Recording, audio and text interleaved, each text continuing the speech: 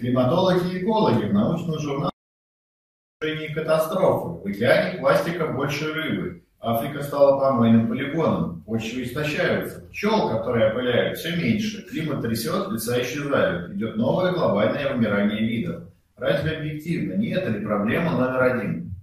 Ну, я скажу два слова просто. Дело в том, что, разумеется, картина, которая здесь нарисована, но она не то, что скажу, преувеличена, она может быть несколько чересчур драматична, потому что, понимаете, та же самая история с э, глобальным потеплением. То, что оно идет, совершенно очевидно, то есть, ну, есть просто объективные статистические данные. Является ли это глобальное потепление полностью и исключительно человека, это не очевидно. Это не очевидно, да, это не очевидно, это тема больших дискуссий среди ученых, тут нет единого мнения. Опять же, я не готов к той или другой точке зрения подсоединиться, я просто фиксирую, что сама проблема объективно существует, является ли она чисто порождением человеческой деятельности или нет, а, или, может быть, частично человеческой деятельностью, частично связано с какими-то более глобальными процессами. То есть люди, как бы, действия в рамках глобального процесса еще и усугубляют имеющиеся негативные тенденции, это отдельная совершенно тема. Но, а, на мой взгляд, все-таки очень важно понять, что экология неотделима от общества. То есть, когда мы говорим об экологическом кризисе, надо понимать, что это неотделимо Пластик, от, да, откуда да, да, от э, способа производства, Конечно. от способа использования ресурсов.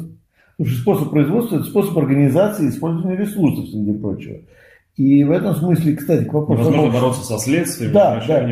И, кстати говоря, общество потребления – это тоже следствие, которое, среди прочего, порождает новые следствия. Так самый простой да, пример для того, чтобы да. проиллюстрировать, это то, как э, выглядела упаковочная промышленность в Советском Союзе и как она выглядит сегодня. Да. Потому что сегодня законы экономической целесообразности, рентабельности, та, та, та самая прибыль, за которой любой капиталист гонится, заставляет э, нас э, покрываться многими слоями пластика. Так ведь? А вспомните, вспомните, как в чем расфасовывалось, э, не знаю, масло, бумаги, да, или молоко в советском а, магазине, вот и, и так далее. Это, это просто мусорное ведро, да. Это, кстати, вот есть потребительская корзина, которую сравнивают, а я бы предложил сравнить мусорное ведро а, соответственно, разных э, социальных э, устройств, сказать, разных социальных систем.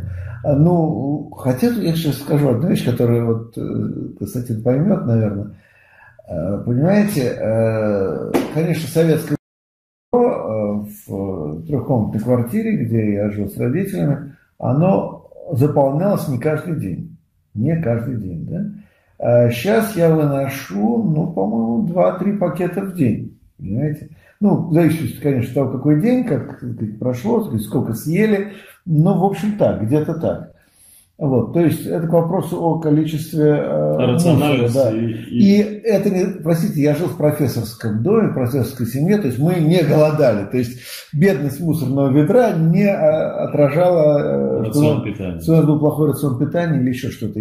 Так сказать, слава богу, я жил в достаточно привилегированной среде. Но вот тут есть один момент, который, опять же, я повторяю, Константин лучше, может быть, оценит, как мы еще советские дети восторгались пластиковыми пакетами, когда их привозили за границу. Так же, как Кока-Кола. Они нам страшно нравились, потому что это казалось ужасно крутым. И более того, э, в это время, где-то в поздние советские э, времена, ну, пока мы были еще подростками, и привозили вот эти пластиковые пакеты, в них какие-то вещи, их носили, и их потом иногда стирали. Мы не могли понять, да, в да. тот момент, когда вот это нашествие пластика на нашу страну только начиналось, мы не могли понять, как можно платить деньги за воду, угу. как вода может быть в дефиците, там, или вода, вода чистая, вода нечистая. Не, нельзя сказать, что мы там и родниковую воду пили, да, но вот эти вещи, в том числе и наша влюбленность во вкус пепси-колы или жвачки турбо, да, абсолютно там резин, это уже ваш резиновый химия, я вот делюсь своим нет. поколенческим опытом, да,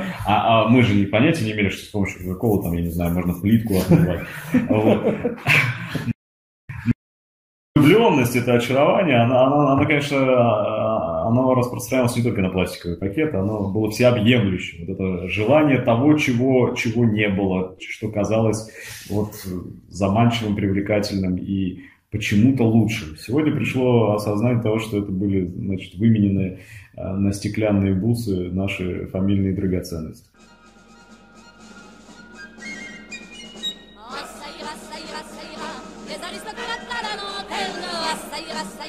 Quand on les prendra. La 300 ans qui nous promettent qu'on va nous accorder du pain. La 300 ans.